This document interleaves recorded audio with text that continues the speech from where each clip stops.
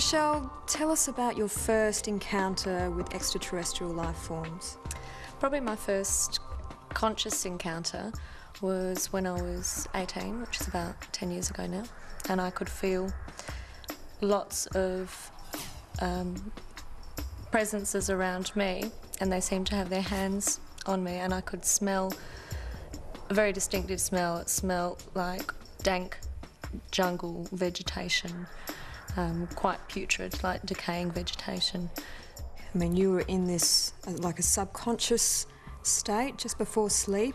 I was in a very much a conscious state, so it wasn't a subconscious state. I was very much aware of being awake. So, what did the creature actually look like?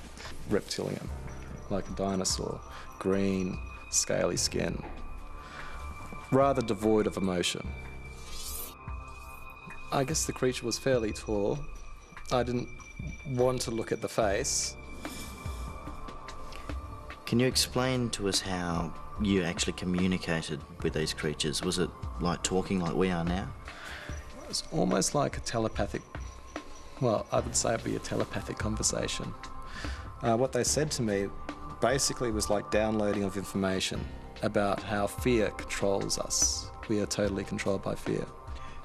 Where do you think that these creatures actually exist? Are they from Earth? Are they. What actually are the creatures? I think these creatures don't exist on this physical reality that we call Earth. I believe they uh, exist in another dimension. It's really interesting because scientists are starting to realize that reality is not reality. We could be living in the Matrix. This could all be a dream. How time is perhaps not linear. You know, there's it's time perhaps does not exist. There is a level of existence where there is all time. You can actually be in the past, present, future at the same point in time. And not only that, you can be everywhere, but nowhere at the same. I mean, these are kind of like Eastern mystical sort of um, points and stuff like that. Interestingly, many of them initially are fearful because they don't know what they're experiencing, not necessarily because of what's happened. So that to isolate the fear, is it them or is it me? Fearful because I don't know what's going on. When they actually get to understand it, many of them actually change how they, they view the experience. And many say they feel a love coming from the beings and a sense of almost kinship with some of them. Some of them will say, look, you know, I feel they're more like family than my human family almost. Well, let's talk about the reptilian life forms that you've seen. Um, when I've encountered them, I've more felt their presence around me.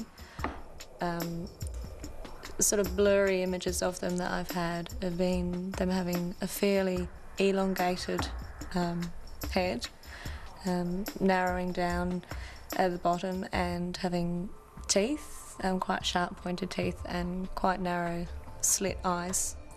Do the reptilian life forms have a particular language?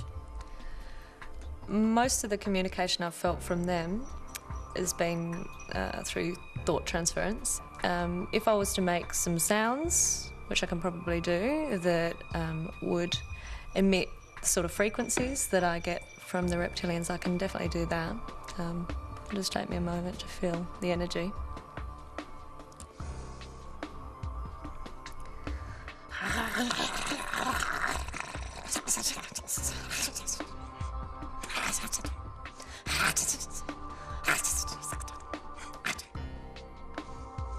Quite a harsh, um, yeah, quite a harsh sort of vibration, really. Usually, when I feel them around, I feel that they are more observing and curious about the nature of our existence. Sometimes there is a, a, sexual encounter with them as well, which we don't always understand. Um, so there's a lot of fear generated with them as well. Um, and I actually talked to a, a therapist in America that um, works in this field, and she told me about her own experience where she walked into the lounge room and standing directly in front of her was this huge reptilian being.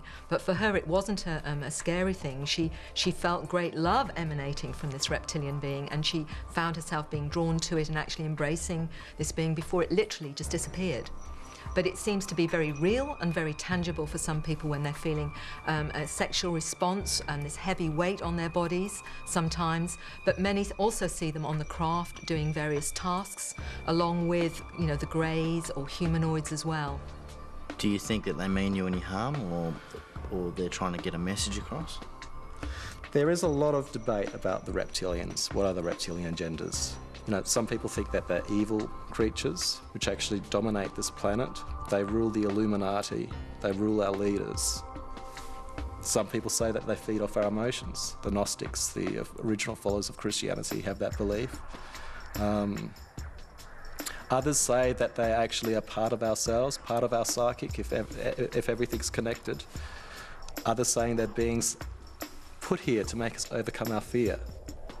Because there is a belief that fear itself is the limiting fence between our conscious mind and our subconscious mind.